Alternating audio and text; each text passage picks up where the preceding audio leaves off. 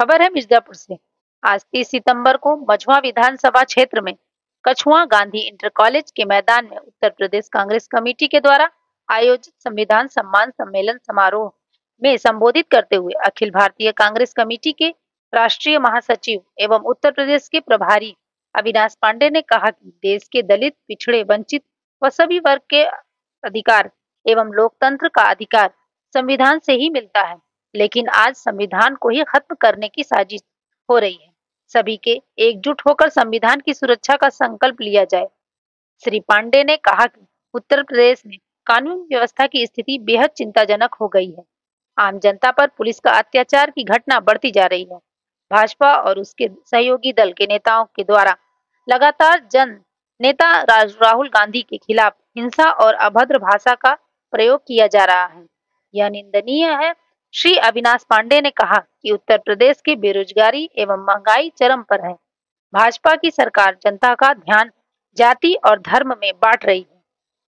Akhil Bharatiya Congress committee के राष्ट्रीय सचिव एवं उत्तर प्रदेश के सह प्रभारी, छत्तीसगढ़ के पूर्व मंत्री राजेश तिवारी ने सभा के संबोधित करते हुए कहा कि बीजेपी की सरकार किसान एवं व्यापारियों को ठगने का काम कर रही है।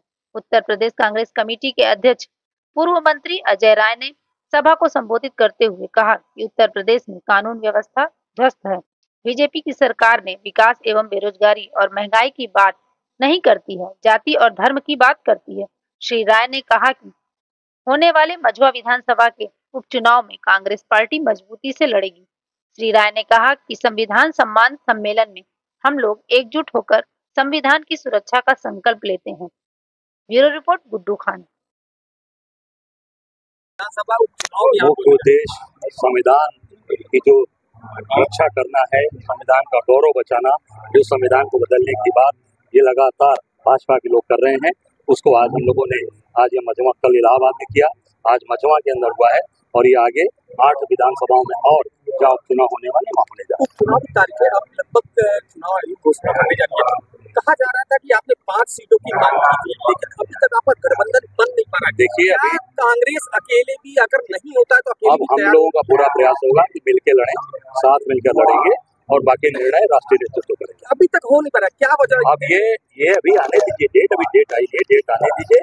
राष्ट्रीय नेतृत्व हमने पाँच सीटों को दिया है प्रस्ताव उसमें मझुआ भी शामिल है और निश्चित तौर से पूरी ताकत के साथ हमारे कार्यकर्ता तैयारी कर कांग्रेस अध्यक्ष ये श्योर कर रहे हैं कि हम लोग लड़ेंगे तो सपा के साथ गठबंधन देखिए अभी निश्चित तौर से मैंने प्रस्ताव दिया है और मिलकर लड़ने का पूरा प्रस्ताव गया है। बाकी नेतृत्व को निर्णय लेना है।